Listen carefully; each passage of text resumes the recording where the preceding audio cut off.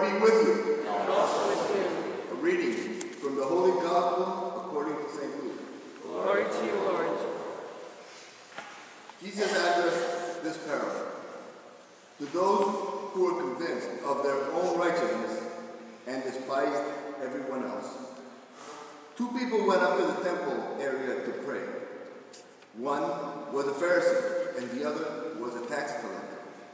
The Pharisee took up his position and spoke this prayer to himself. God, I think, I thank you that I am not like the rest of humanity, greedy, dishonest, adulterous, or even like this tax collector. I fast twice a week. I pay tithe of my whole income. But the tax collector stood off at a distance and would not even raise his eyes to heaven, but beat his breath and prayed, be merciful to, the, to me, a sinner. I tell you, the latter went home justified, but the former, for whoever, ex- not the former, for whoever exalts himself will be humbled, and no one who humbles himself, and, and, and the one who humbles himself will be exalted. The Gospel of the Lord. Praise to you, Lord Jesus Christ.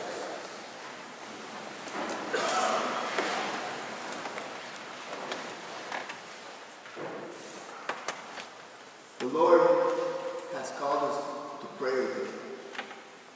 But not only to prayer, but the Lord has called us to humble prayer. The Lord today has a lesson of humility for us. And the gospel is very clear. The Pharisee came up bragging to the Lord about all his virtues. And not only bragging about all his virtues, but humiliating the rest of the world, putting himself over everybody else, even over the tax collector who was repentant for his sins. Yet the tax collector acknowledged his sins and said, Lord, be merciful of me, a sinner. The first reading talks about the Lord listens to everybody at the same, but probably pays a little bit more attention to those who are worthy of that attention, to the poor, to the needy. We have lived a life, and life is beautiful. And we look back at all our accomplishments, and we look back at our, our challenges in the areas that we were not able to reach the goals that we had wished or tried to accomplish. All of us have something to be proud of, but all of us have something to be humble about. Areas where we did not make it, where we did not succeed. But the beautiful thing is that the Lord looks at us not for what we did, but for what we are, for who we are, the way we approach Him, the way we express our love, our humility. I, I will never forget while I was going to school to become a deacon, and many of you probably remember or know of Father Warren Savage. He kept on telling us ongoing, all the time, all the time, while you're in school, while you're becoming a deacon, while you're making an effort to be ordained, you're humble, you're open, you want to learn, you want to listen, you're thirsty. But once you get that stole, don't let it get to your head. Don't let it get to the head. And if it does get to the head, and you start bragging about being authority, being clergy, being big, you remember you're just a priest with a crooked stole. And I always think about that. I always think about that. Because I am here to serve. And because I too get overwhelmed. Because I too have my challenges. And unfortunately, quite often, I have to come to the Lord and say, Lord, be merciful of me, a big sinner. And that's our reality. The Lord listens to us. The Lord loves us. The Lord wants us to look into him. As Paul, who made all the efforts, the Apostle Paul, a person who loved God so much that in his ignorance he was persecuting the followers of Christ.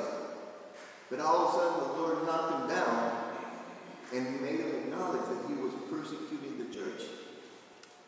When St. Paul realized the bad doings, he changed. He turned to the Lord. He served the Lord. He got in prison. He suffered the consequences. He, he got whipped a few times. But then he said, at, at the end of his life, when he was almost close to his final gathering with the Lord, he acknowledged the good that he did, but he also praised the Lord for helping him, for supporting him. And St. Paul didn't do it at the account of others, but whatever he did, he did for others. And even was able to forgive those who abandoned him in the moment he needed. We also were called to forgiveness. In our prayerful time, let us forgive those who do not know what they're doing, or those who do not know the Lord. Let us forgive, let us witness, let us testify the greatness of the Lord. We have lived a long life. We have lived a life of challenges. We have seen the greatness of the Lord. Let us thank the Lord for everything that He has given us. And let us worship Him who gives us all that we have. And let us acknowledge without Him, we couldn't have done anything that we did. And we cannot do anything that He wants us to do. Let's thank Him for all the good life and the life to come.